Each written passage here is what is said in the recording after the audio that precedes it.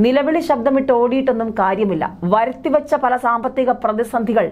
അതിനുത്തരവാദി സംസ്ഥാന സർക്കാർ തന്നെയെന്ന് സാമ്പത്തിക രാഷ്ട്രീയ സാമൂഹിക നിരീക്ഷകരും വിമർശിക്കുകയാണ്.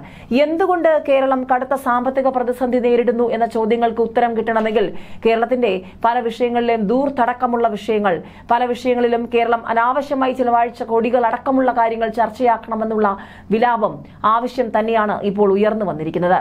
കേരളത്തിന് കടുത്ത സാമ്പത്തിക ബുദ്ധിമുട്ടുകൾ ഉണ്ടെന്ന് ധനമന്ത്രി കെ എൻ ബാലഗോപാൽ ആവർത്തിച്ചു പറയുമ്പോൾ പല വിഷയങ്ങളിലും കേരളം പാഴാക്കിയ കോടികളുടെ കണക്ക്. അതിനൊക്കെ ആരുത്തരം പറയും? ഇങ്ങനെ പോയാൽ കേരളം മറ്റൊരു ശ്രീലങ്കയോ എന്നതടക്കമുള്ള ചോദ്യങ്ങളുമായി സാമ്പത്തിക നിരീക്ഷകരും രംഗത്തുണ്ട്. പ്രതീക്ഷിക്കും വിധം പണലഭ്യത ഉണ്ടായാൽ ട്രഷറി നിയന്ത്രണം വേണ്ടിവരില്ല. കേന്ദ്ര സഹായം ഉണ്ടായില്ലെങ്കിൽ പ്രതിസന്ധി രൂക്ഷമാകും. സാമ്പത്തിക ബുദ്ധിമുട്ടെന്നാൽ ഖജനാവ് പൂട്ടുമെന്നല്ല ഓവർ ഡ്രാഫ്റ്റ് വേണ്ടിവരുമെന്ന് കരുതുന്നില്ല. ഓവർ ഡ്രാഫ്റ്റ് നിയമപരമാണെന്നൊക്കെ ബാലഗോപാൽ പറയുന്നുണ്ടെങ്കിലും ചോദ്യങ്ങൾ അവസാനിക്കുന്നേയില്ല.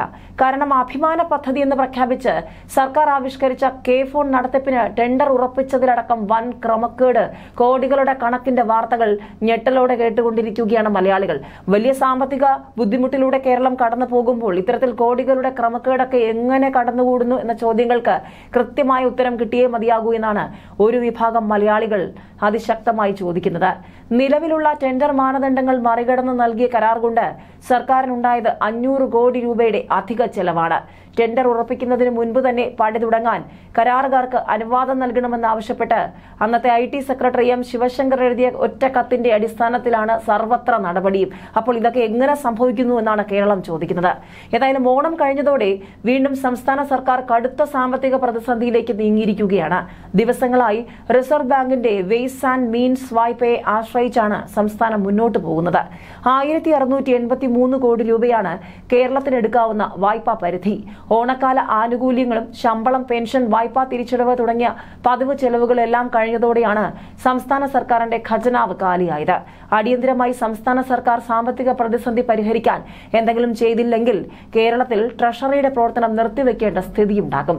ട്രഷറിയിൽ കടുത്ത നിയന്ത്രണവും ചെലവ് കർശനമായി ചുരുക്കലുമില്ലാതെ മുന്നോട്ട് പോകാനാകാത്ത അവസ്ഥയാണ്. സെപ്റ്റംബർ അവസാനമാകുന്നതോടെ ട്രഷറിയിൽ നിന്നുള്ള ഇടപാടുകൾ പതിനയ്യായിരം കോടി എത്തുമെന്നാണ് കരുതുന്നത്. ശമ്പളം ഓണക്കാല ആനുകൂല്യങ്ങൾ പെൻഷൻ വായ്പാ തിരിച്ചടവ് കെ എസ് ആർ ടി സിക്ക് നൽകിയ ഇരുന്നൂറ്റി തൊണ്ണൂറ്റിയാറ് കോടി എന്നിവയാണ് ഓണക്കാലത്തെ ചില ചിലവുകൾ. അതേസമയം കഴിഞ്ഞ വർഷത്തേക്കാൾ ആറായിരത്തി അഞ്ഞൂറ് കോടി രൂപ ഇത്തവണ ഓണക്കാലത്ത് അധിക ചിലവ് ഉണ്ടായെന്നാണ് വിലയിരുത്തൽ. ഏതായാലും കേന്ദ്രത്തിൽ നിന്ന് ധനക്കമ്മി നികത്തൽ ഗ്രാന്റ് ജി എസ് ടി വിഹിതം എന്നിവ കിട്ടിയില്ലെങ്കിൽ പട്ടിണി തന്നെ മലയാളികൾ എന്നുള്ളത് കൂടി പറയേണ്ടി വരും. കിട്ടിയില്ലെങ്കിൽ രണ്ടാം പിണറായി സർക്കാർ ആദ്യമായി ഓവർ ഡ്രാഫ്റ്റിലേക്ക് പോകും. ഇതിനിടയിലാണ് അനാവശ്യമായ ദൂർത്ത് ആഡംബരം വാഹനം വാങ്ങുന്നത് കാലിത്തൊഴുത്ത് നിർമ്മാണം അടക്കമുള്ള വിഷയങ്ങൾ മുൻപ് മാധ്യമങ്ങൾ സജീവ ചർച്ചയാക്കിയിട്ടുള്ളത്.